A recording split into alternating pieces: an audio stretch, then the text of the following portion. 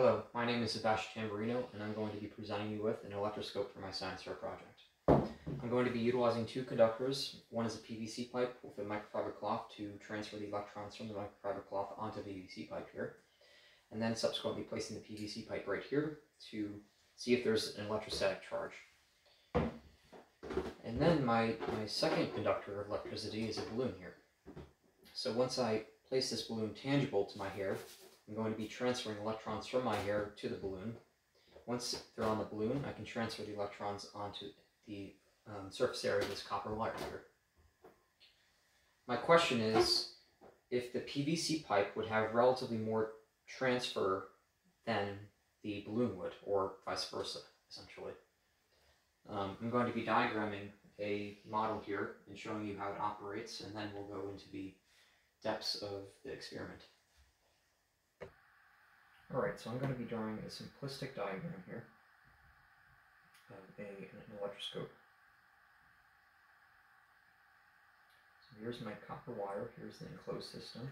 Copper wire comes down with a significant hook on the end with the aluminium leaves that separate initially. Um, so the electroscope is predominantly a device we utilize in physics to visualize electrical charge or demonstrate electrical charge.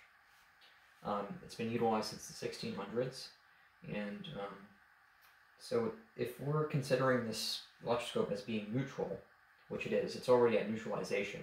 Um, so essentially what that means is that the protons and the electrons are roughly equivalent in the system itself here. So that means that if we apply a frictional force onto a PVC pipe, which will contain electrons after we apply the microfiber cloth onto the PVC pipe, considering that there's already electrons on the surface area of the copper wire or in the system itself, if we place this PVC pipe tangible to the copper wire here, the electrons would have a tremendous amount of repulsion because the same charges, they're going to repel each other. Um, just the opposite there. So they're going to repel all the way down the coil here into the aluminium leaves, which already contain electrons. So consequently, considering that they already contain electrons, they're going to essentially separate. Ultimately, that's how we would uh, visualize electrical charge or demonstrate electrical charge. Uh, my hypothesis, however, is that the PVC pipe um, will actually could potentially exert relatively more force, or I should say, trans uh, electron transfer into the isolated system here, because if I can, I can actually exert relatively more force onto the PVC pipe with the microfiber cloth instead of the balloon. That is my hypothesis, and we'll demonstrate the experiment now. Alright, so I'm going to be applying a frictional force on the microfiber on the PVC pipe from the microfiber cloth now. I'm going to make this for the electron transfer to occur. So as you can see here, we have the aluminium leaves. It's currently neutralized the system. So if I place the PVC pipe close to the copper wire here, it should excite the aluminium, we see there. So electrons are being are infiltrating through this copper wire down into the aluminium here, as we saw in my um, whiteboard there. So now if we make this PVC pipe, pipe tangible to the, to the uh, copper, now let's see, they, it keeps, they're, they're separated currently.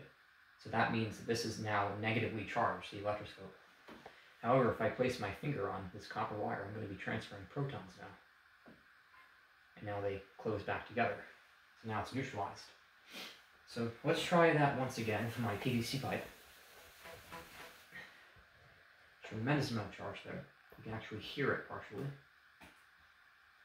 Now let's demonstrate the balloon. Let's see if my hypothesis was correct or not.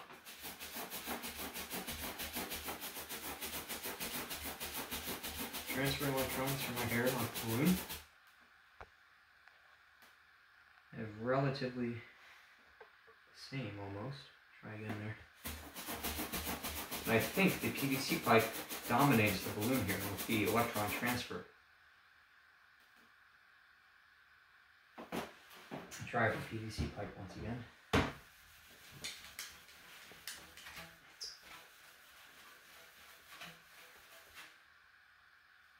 Yes, definitely.